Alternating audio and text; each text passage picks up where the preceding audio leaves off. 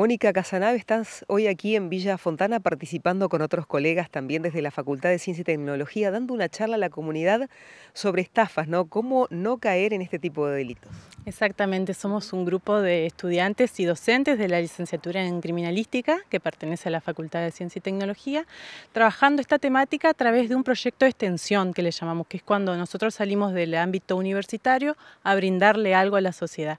En este caso es el tema de prevención de estafas físicas y virtuales.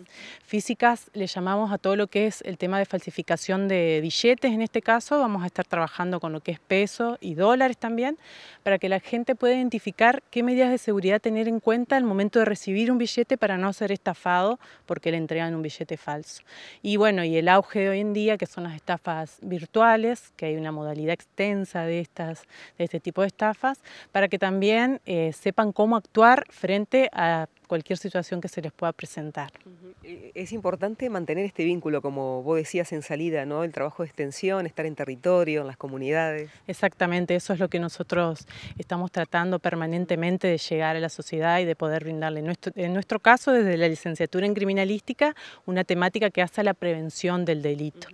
Eh, pero es, muy importante, como vos decís, trabajar en el territorio con, la gente y poder devolverle algo, digamos. Eh, teniendo en cuenta que nuestra universidad es pública y gratuita. Y vemos distintas edades también participando de este tipo de encuentros. Sí, como les decíamos cuando inició el taller a la gente, eh, hoy en día todos somos vulnerables. No, hay, no es que ciertas edades son más que otras o por ahí consideramos que los adultos mayores son los más vulnerables, no, porque hoy en día en todo lo que es manejo de redes sociales, eh, transacciones económicas y demás que se hace en forma virtual y WhatsApp que prácticamente todo el mundo tiene, todos somos vulnerables. Y los adultos mayores, bueno, como les contábamos, frente a otras situaciones por ahí también, pero no eh, hace distinción etaria, digamos, lo que es eh, las estafas hoy en día. Las comunidades que quieran contactarse con ustedes, ¿cómo pueden hacer?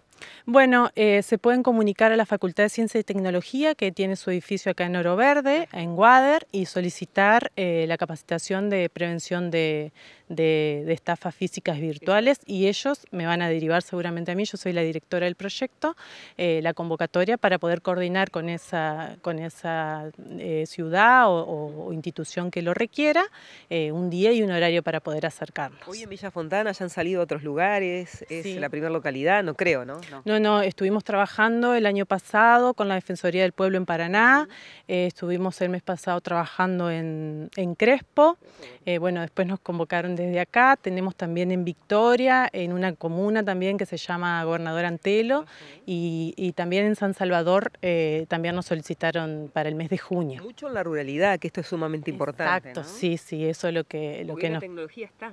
Exacto, eso es lo que, lo que hablábamos también recién con, con la gente, que por ahí nos cuenta su experiencia y se, y se genera un debate, un ida y vuelta muy lindo, porque ellos nos, nos pueden contar la experiencia y nosotros también estar al tanto de lo que ellos viven, ¿sí? En, en cualquier sector eh, es importante trabajar.